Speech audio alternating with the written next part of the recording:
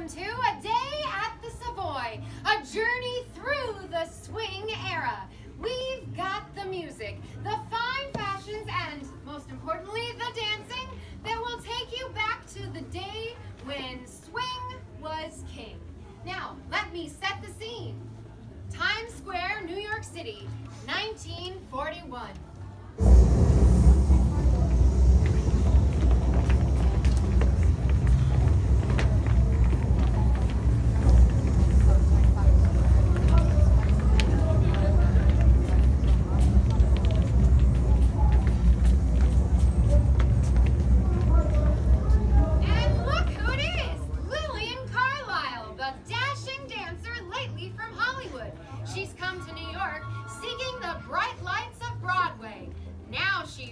Wants to know